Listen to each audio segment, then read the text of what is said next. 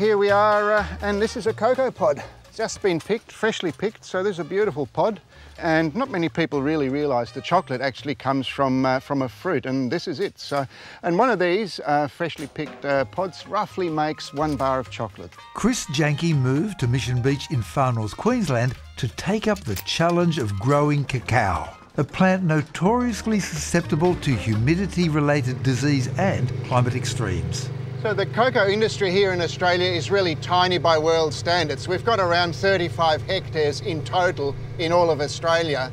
And uh, this property here, Mount Edna, is one of the uh, larger farms in all of that. So These are the little flower buds, very small, about the size of a uh, match head. And then here we've got the actual uh, flower opening up. Looks a bit like a little tiny, tiny little orchid. But how these cacao plants are pollinated is a curiosity. The interesting thing about these trees, and like most people assume that uh, trees, fruit trees particularly, are pollinated by bees. Um, bees have got nothing to do with these. Uh, these are pollinated by tiny little midges that live in this leaf litter underneath the trees permanently. And as soon as a little flower pops up, out there come the, uh, come the little midges doing their pollination bit and we get uh, pollinated fruit. And then there's the low-tech system of processing the pods. If it ain't broke, don't fix it.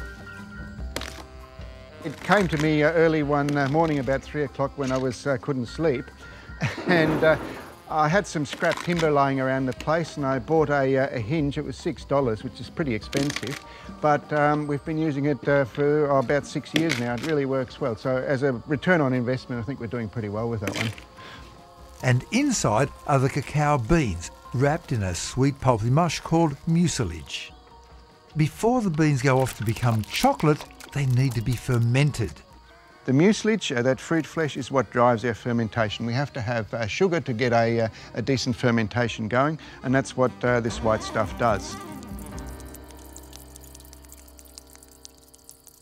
This is pretty much the most critical stage of the whole entire process. This is where the, I guess, the flavour development of chocolate happens. You'll find the unique taste inside the beating heart of the cacao bean. And to lock in that fermented flavour, it's dried before being bagged and transported. Oh, I'm not a big chocolate eater actually, so We just grow it. yeah, we just we just look after it. Seeing it go from, from there to in the ground to this and knowing you've got a quality product, what I ain't to be proud of?